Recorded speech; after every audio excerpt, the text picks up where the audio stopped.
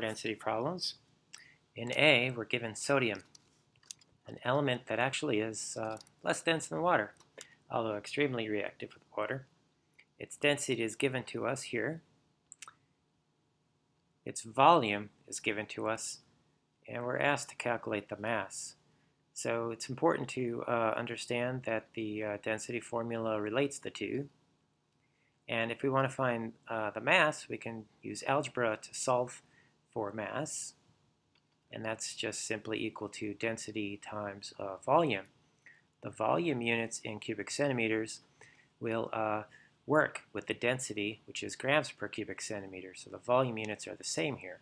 So if we plug this in, we get 0.97 grams per cubic centimeter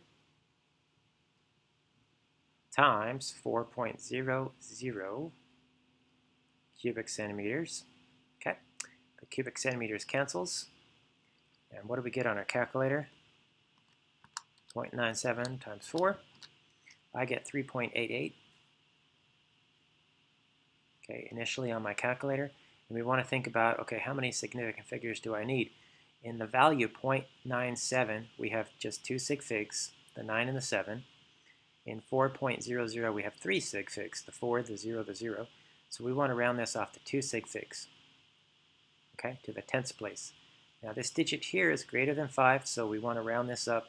So this becomes 3.9, uh, and the units here are grams. After the cubic centimeters cancel, we're left with grams. Okay, so that's the mass of the sodium. In this other problem, we're going to uh, proceed similarly. Density is known. Volume is known. So we want to solve for mass. It's important to use the units here and realize there's going to be a situation. The volume uh, of milliliters in the given quantity isn't going to work well with density, which is grams per liter. So let's convert the milliliters into liters. And we do that by creating a decimal place and using the King Henry divide by a thousand. Move that decimal place over 3. So this is the same thing as 0.125 liters. Okay? So now we can use the equation that we have up above. Mass is equal to density, 3.6 grams per liter, times the volume. Okay? and the liters cancels. And let's go ahead and punch that in on our calculator. And what I get is 0.45. Okay, so let's think about the uh, rounding here. 3.6 has two sig figs. 0.125 has three sig figs.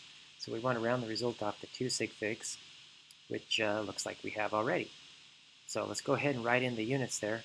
We're left with grams after those liters cancel. So that's the mass of uh, chlorine, which is a gas. Thanks for watching.